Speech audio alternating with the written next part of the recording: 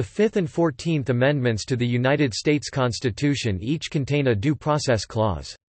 Due process deals with the administration of justice and thus the Due Process Clause acts as a safeguard from arbitrary denial of life, liberty, or property by the government outside the sanction of law.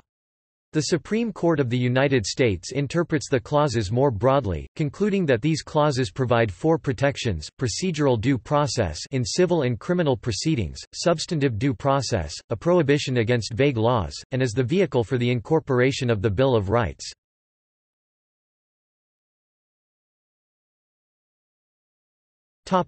Background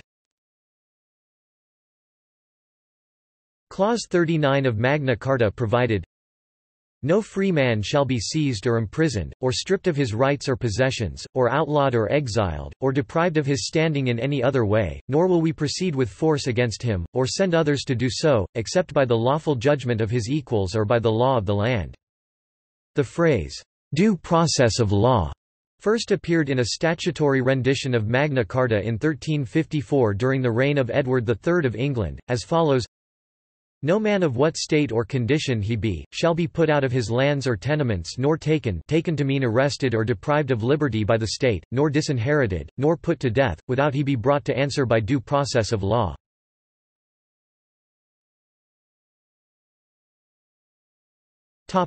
Drafting New York was the only state that asked Congress to add due process language to the U.S. Constitution.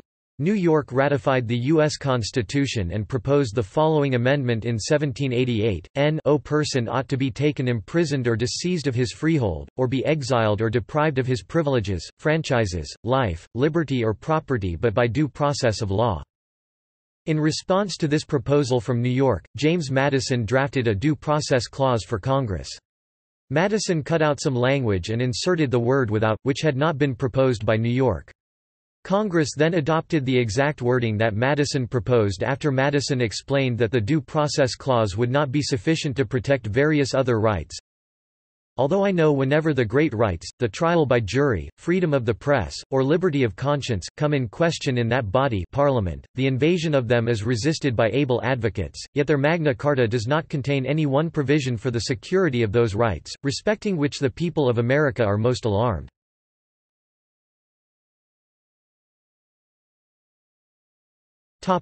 Text The Fifth Amendment to the United States Constitution provides, No person shall be deprived of life, liberty, or property, without due process of law.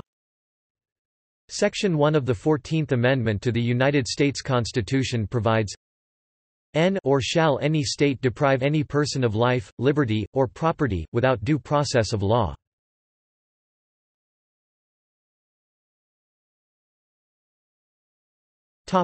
Interpretation.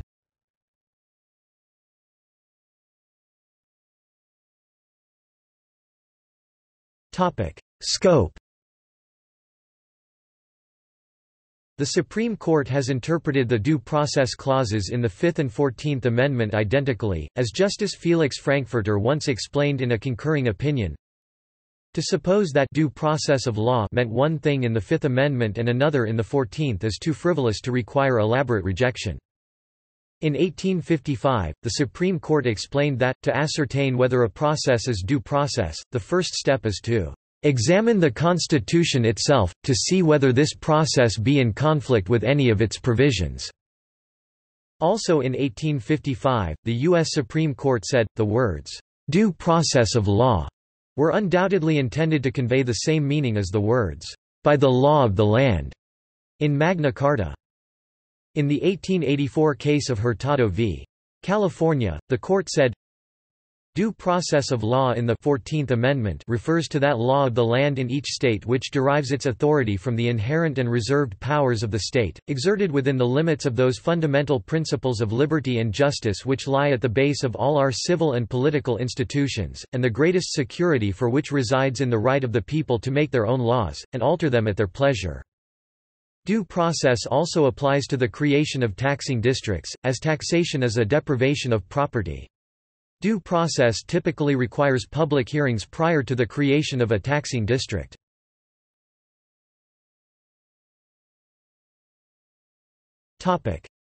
State Due process applies to Puerto Rico, although it is not a state.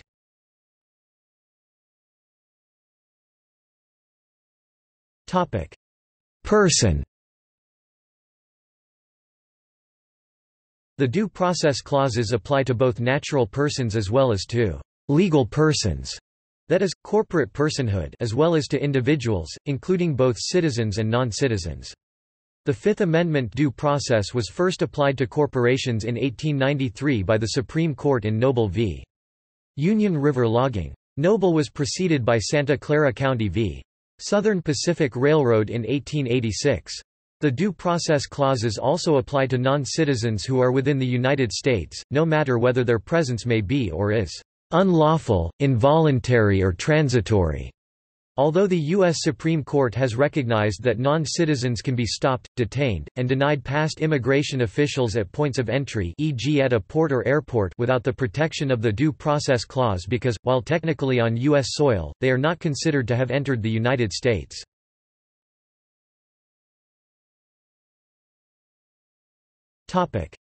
Life. In the context of the death penalty debate in the United States, it has been argued that since the Constitution explicitly contemplates the death penalty by forbidding it without due process, the death penalty cannot be unconstitutional.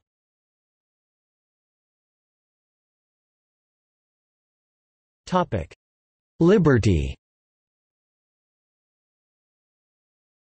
The U.S. Supreme Court has interpreted the term liberty in the due process clauses broadly, Although the court has not assumed to define liberty with any great precision, that term is not confined to mere freedom from bodily restraint.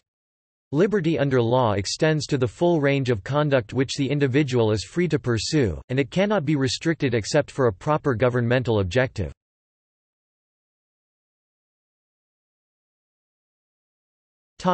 State actor The prohibitions, generally, of the due process clauses apply only to the actions of state actors, and not against private citizens.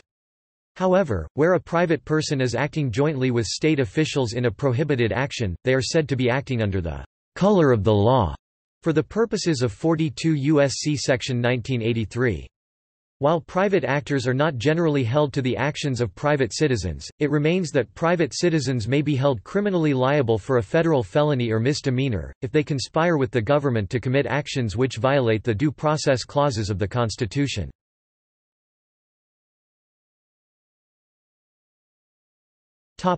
Procedural due process Procedural due process requires government officials to follow fair procedures before depriving a person of life, liberty, or property. When the government seeks to deprive a person of one of those interests, procedural due process requires the government to afford the person, at minimum, notice, an opportunity to be heard, and a decision made by a neutral decisionmaker. This protection extends to all government proceedings that can result in an individual's deprivation, whether civil or criminal in nature, from parole violation hearings to administrative hearings regarding government benefits and entitlements to full-blown criminal trials. The article, "'Some Kind of Hearing' written by Judge Henry Friendly created a list of basic due process rights that remains highly influential, as to both content and relative priority. These rights, which apply equally to civil due process and criminal due process, are an unbiased tribunal. Notice of the proposed action and the grounds asserted for it. Opportunity to present reasons why the proposed action should not be taken. The right to present evidence, including the right to call witnesses. The right to know opposing evidence. The right to cross-examine adverse witnesses. A decision based exclusively on the evidence presented. Opportunity to be represented by counsel. Requirement that the tribunal prepares a record of the evidence presented. Requirement that the tribunal prepares written findings of fact and reasons for its decision.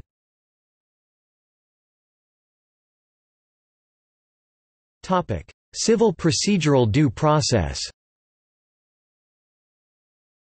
Procedural due process is essentially based on the concept of fundamental fairness. For example, in 1934, the United States Supreme Court held that due process is violated if a practice or rule offends some principle of justice so rooted in the traditions and conscience of our people as to be ranked as fundamental.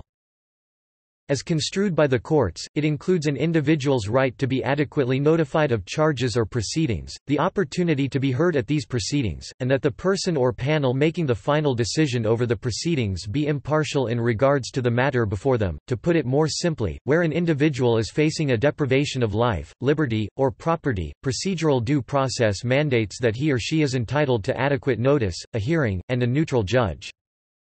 The Supreme Court has formulated a balancing test to determine the rigor with which the requirements of procedural due process should be applied to a particular deprivation, for the obvious reason that mandating such requirements in the most expansive way for even the most minor deprivations would bring the machinery of government to a halt. The court set out the test as follows. Identification of the specific dictates of due process generally requires consideration of three distinct factors, first, the private interest that will be affected by the official action, second, the risk of an erroneous deprivation of such interest through the procedures used, and the probable value, if any, of additional or substitute procedural safeguards, and, finally, the government's interest, including the function involved and the fiscal and administrative burdens that the additional or substitute substitute procedural requirement would entail. Procedural due process has also been an important factor in the development of the law of personal jurisdiction, in the sense that it is inherently unfair for the judicial machinery of a state to take away the property of a person who has no connection to it whatsoever. A significant portion of U.S. constitutional law is therefore directed to what kinds of connections to a state are enough for that state's assertion of jurisdiction over a non-resident to comport with procedural due process. The requirement of a neutral judge has introduced a constitutional dimension to the question of whether a judge should recuse himself or herself from a case. Specifically, the Supreme Court has ruled that in certain circumstances, the Due Process Clause of the Fourteenth Amendment requires a judge to recuse himself on account of a potential or actual conflict of interest. For example, in Caperton v. A. T. Massey Coal Co., 2009, the court ruled that a justice of the Supreme Court of Appeals of West Virginia could not participate in a case involving a major donor to his election to that court.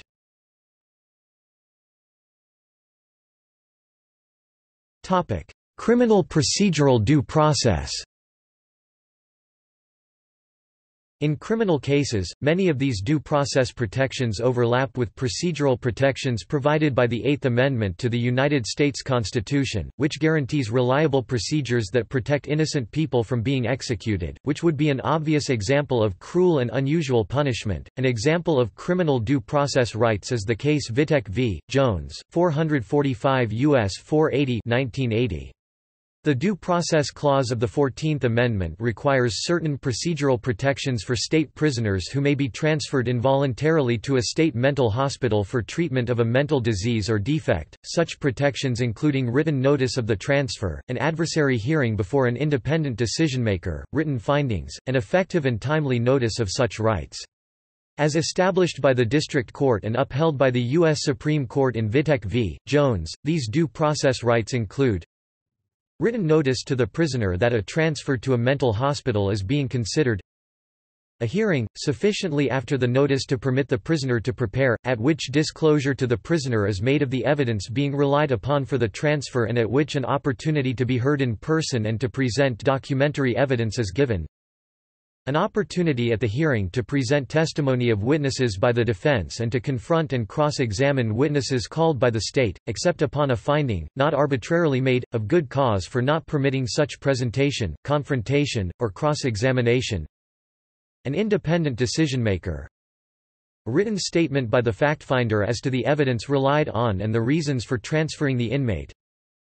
Availability of legal counsel, furnished by the state, if the inmate is financially unable to furnish his own it must be noted however that a majority of justices rejected this right to state-furnished counsel, and effective and timely notice of all the foregoing rights.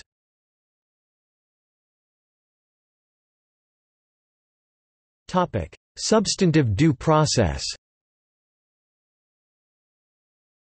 By the middle of the 19th century, due process of law was interpreted by the U.S. Supreme Court to mean that it was not left to the legislative power to enact any process which might be devised. The Due Process article is a restraint on the legislative as well as on the executive and judicial powers of the government, and cannot be so construed as to leave Congress free to make any process due process of law by its mere will. The term, "'substantive due process' SDP is commonly used in two ways, first to identify a particular line of case law, and second to signify a particular attitude toward judicial review under the Due Process Clause. The term, "'substantive due process' began to take form in 1930s legal casebooks as a categorical distinction of selected due process cases, and by 1950 had been mentioned twice in Supreme Court opinions. SDP involves liberty-based due process challenges which seek certain outcomes instead of merely contesting procedures and their effects. In such cases, the Supreme Court recognizes a constitutionally based liberty, which then renders laws seeking to limit said liberty, either unenforceable or limited in scope. Critics of SDP decisions typically assert that those liberties ought to be left to the more politically accountable branches of government. Courts have viewed the Due Process Clause, and sometimes other clauses of the Constitution, as embracing those fundamental rights that are implicit in the concept of ordered liberty. Just what those rights are is not always clear, nor is the Supreme Court's authority to enforce such an enumerated rights clear. Some of those rights have long histories or are deeply rooted in American society. The courts have largely abandoned the Lochner-era approach c. 1897 when substantive due process was used to strike down minimum wage and labor laws in order to protect freedom of contract. Since then, the Supreme Court has decided that numerous other freedoms that do not appear in the plain text of the Constitution are nevertheless protected by the Constitution. If these rights were not protected by the federal court's doctrine of substantive due process, they could nevertheless be protected in other ways. For example, it is possible that some of these rights could be protected by other provisions of the state or federal constitutions, and alternatively they could be protected by legislatures. Today, the court focuses on three types of rights under substantive due process in the 14th Amendment, which originated in United States v. Carolene Products Co., 304 U.S. 144 1938, footnote 4.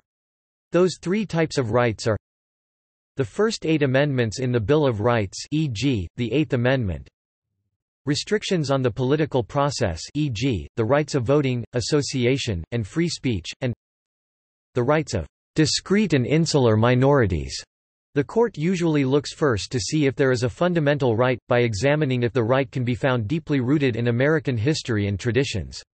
Where the right is not a fundamental right, the court applies a rational basis test. If the violation of the right can be rationally related to a legitimate government purpose, then the law is held valid. If the court establishes that the right being violated is a fundamental right, it applies strict scrutiny.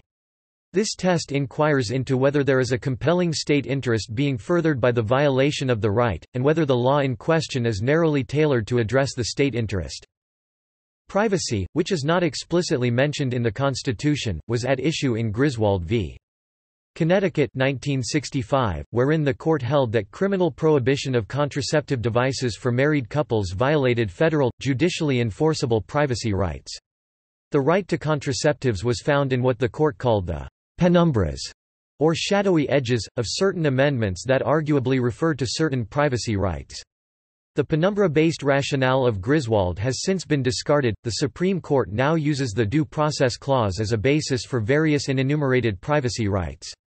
Although it has never been the majority view, some have argued that the Ninth Amendment addressing enumerated rights could be used as a source of fundamental judicially enforceable rights, including a general right to privacy, as discussed by Justice Goldberg concurring in Griswold.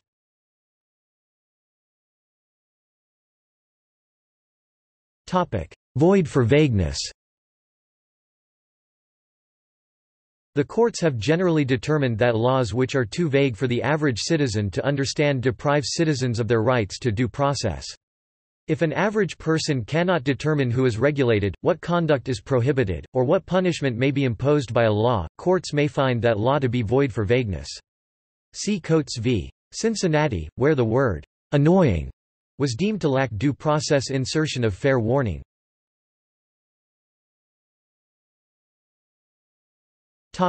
Incorporation of the Bill of Rights Incorporation is the legal doctrine by which the Bill of Rights, either in full or in part, is applied to the states through the Fourteenth Amendment's Due Process Clause. The basis for incorporation is substantive due process regarding substantive rights enumerated elsewhere in the Constitution, and procedural due process regarding procedural rights enumerated elsewhere in the Constitution. Incorporation started in 1897 with a takings case, continued with Gitlow v. New York 1925, which was a First Amendment case, and accelerated in the 1940s and 1950s. Justice Hugo Black famously favored the jot for jot incorporation of the entire Bill of Rights. Justice Felix Frankfurter, however—joined later by Justice John M. Harlan—felt that the federal courts should only apply those sections of the Bill of Rights that were "...fundamental to a scheme of ordered liberty." It was the latter course that the Warren Court of the 1960s took, although almost all of the Bill of Rights has now been incorporated jot for jot against the states. The latest incorporation is the Second Amendment which made the individual and fundamental right to keep and bear arms fully applicable to the states. See McDonald v. City of Chicago, 561 U.S. 2010. The role of the incorporation doctrine in applying the guarantees of the Bill of Rights to the states is just as notable as the use of due process to define new fundamental rights that are not explicitly guaranteed by the Constitution's text. In both cases, the question has been whether the right asserted is fundamental, so that, just as not all proposed new constitutional rights are afforded judicial recognition, not all provisions of the Bill of Rights have been deemed sufficiently fundamental to warrant enforcement against the states. Some people, such as Justice Black, have argued that the Privileges or Immunities Clause of the Fourteenth Amendment would be a more appropriate textual source for the incorporation doctrine. The court has not taken that course, and some point to the treatment given to the Privileges or Immunities Clause in the 1873 slaughterhouse cases as a reason why. Although the Slaughterhouse Court did not expressly preclude application of the Bill of Rights to the states, the clause largely ceased to be invoked in opinions of the court following the slaughterhouse cases, and when incorporation did begin, it was under the rubric of due process. Scholars who share Justice Black's view, such as Akhil Amar, argue that the framers of the Fourteenth Amendment, like Senator Jacob Howard and Congressman John Bingham, included a due process clause in the Fourteenth Amendment for the following reason. By incorporating the rights of the Fifth Amendment, the Privileges or Immunities Clause would have prevented states from depriving citizens of due process. Bingham, Howard, and Company wanted to go even further by extending the benefits of state due process to aliens. The Supreme Court has consistently held that Fifth Amendment due process means substantially the same as Fourteenth Amendment due process, and therefore the original meaning of the former is relevant to the incorporation doctrine of the latter. When the Bill of Rights was originally proposed by Congress in 1789 to the states, various substantive and procedural rights were classed according to their affinity to each other, instead of being submitted to the states as a single act to be adopted or rejected in the gross. As James Madison put it. Roger Sherman explained in 1789 that each amendment may be passed upon distinctly by the states, and any one that is adopted by three-fourths of the legislatures may become a part of the Constitution." Thus, the states were allowed to reject the Sixth Amendment, for example, while ratifying all of the other amendments including the Due Process Clause. In that case, the rights in the Sixth Amendment would not have been incorporated against the federal government. The doctrine of incorporating the content of other amendments into due process was thus an innovation, when it began in 1925 with the Gitlow case, and this doctrine remains controversial today.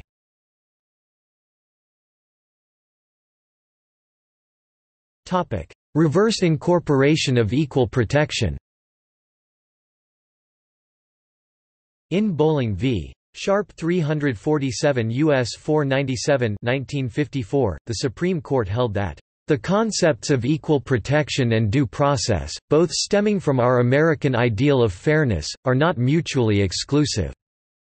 The court thus interpreted the Fifth Amendment's Due Process Clause to include an equal protection element. In Lawrence v. Texas The Supreme Court added, equality of treatment and the due process right to demand respect for conduct protected by the substantive guarantee of liberty are linked in important respects, and a decision on the latter point advances both interests.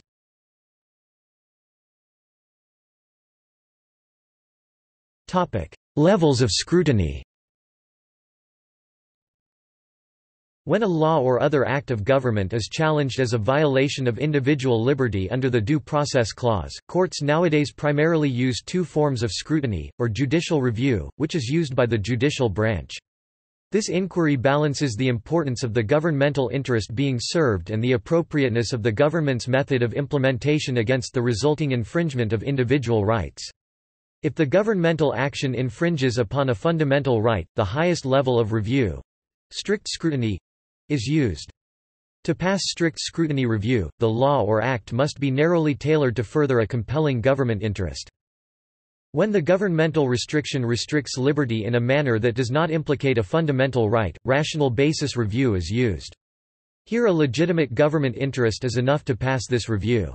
There is also a middle level of scrutiny, called intermediate scrutiny, but it is primarily used in equal protection cases rather than in due process cases.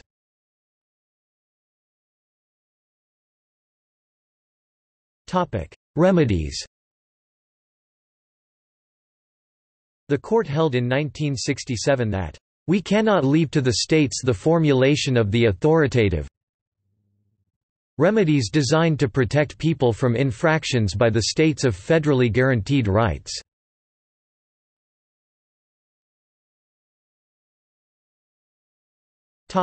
Criticism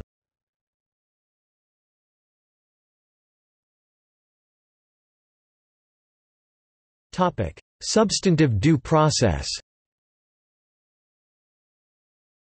Critics of a substantive due process often claim that the doctrine began, at the federal level, with the infamous 1857 slavery case of Dred Scott v. Sandford. However, other critics contend that substantive due process was not used by the federal judiciary until after the Fourteenth Amendment was adopted in 1869. Advocates of a substantive due process who assert that the doctrine was employed in Dred Scott claim that it was employed incorrectly. Additionally, the first appearance of a substantive due process as a concept arguably appeared earlier in the case of Bloomer v.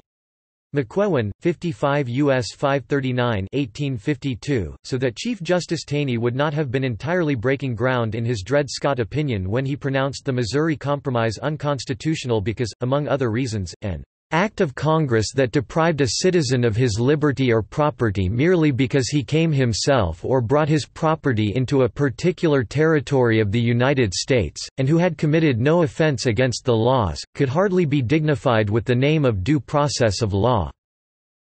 Dissenting Justice Curtis disagreed with Taney about what «due process» meant in Dred Scott. Criticisms of the doctrine continue as in the past.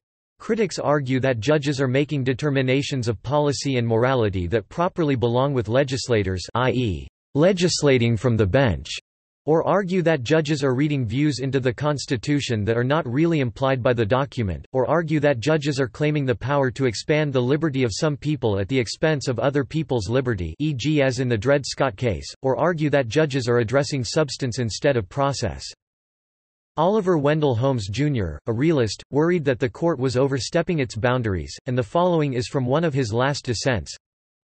I have not yet adequately expressed the more than anxiety that I feel at the ever-increasing scope given to the Fourteenth Amendment in cutting down what I believe to be the constitutional rights of the states. As the decisions now stand, I see hardly any limit but the sky to the invalidating of those rights if they happen to strike a majority of this court as for any reason undesirable. I cannot believe that the amendment was intended to give us carte blanche to embody our economic or moral beliefs in its prohibitions. Yet I can think of no narrower reason that seems to me to justify the present and the earlier decisions to which I have referred. Of course the words due process of law, if taken in their literal meaning, have no application to this case, and while it is too late to deny that they have been given a much more extended and artificial signification, still we ought to remember the great caution shown by the Constitution in limiting the power of the states, and should be slow to construe the clause in the Fourteenth Amendment as committing to the court, with no guide but the court's own discretion, the validity of whatever laws the states may pass. Originalists, such as Supreme Court Justice Clarence Thomas, who rejects substantive due process doctrine, and Supreme Court Justice Antonin Scalia, who has also questioned the legitimacy of the doctrine, call a substantive due process a «judicial usurpation» or an «oxymoron». Both Scalia and Thomas have occasionally joined court opinions that mention the doctrine, and have in their dissents often argued over how substantive due process should be employed based on court precedent. Many non-originalists, like Justice Byron White, have also been critical of a substantive due process. As propounded in his dissents in Moore v. East Cleveland and Roe v. Wade, as well as his majority opinion in Bowers v. Hardwick, White argued that the doctrine of a substantive due process gives the judiciary too much power over the governance of the nation and takes away such power from the elected branches of government. He argued that the fact that the court has created new substantive rights in the past should not lead it to repeat the process at will. In his book Democracy and Distrust, non-originalist John Hart Ely criticized substantive due process as a glaring non sequitur. Ely argued the phrase was a contradiction in terms, like the phrase green pastel redness. Originalism is usually linked to opposition against substantive due process rights, and the reasons for that can be found in the following explanation that was endorsed unanimously by the Supreme Court in a 1985 case. W.E. must always bear in mind that the substantive content of the due process clause is suggested neither by its language nor by preconstitutional history, that content is nothing more than the accumulated product of judicial interpretation of the Fifth and Fourteenth Amendments. Originalists do not necessarily oppose protection of the rights heretofore protected using substantive due process, rather, most originalists believe that such rights should be identified and protected through legislation, through passing amendments to the Constitution, or via other existing provisions of the Constitution. The perceived scope of the Due Process Clause was originally different than it is today. For instance, even though many of the framers of the Bill of Rights believed that slavery violated the fundamental natural rights of African Americans, a theory that declared slavery to be a violation of the Due Process Clause of the Fifth Amendment requires nothing more than a suspension of reason concerning the origin, intent, and past interpretation of the clause.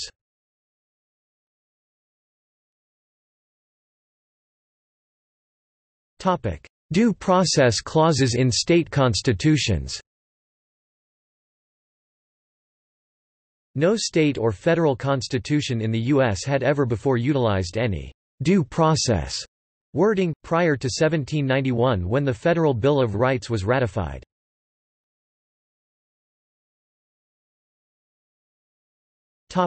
New York In New York, a statutory Bill of Rights was enacted in 1787, and it contained four different due process clauses. Alexander Hamilton commented on the language of that New York Bill of Rights, the words due process have a precise technical import, and are only applicable to the process and proceedings of the courts of justice, they can never be referred to an act of the legislature.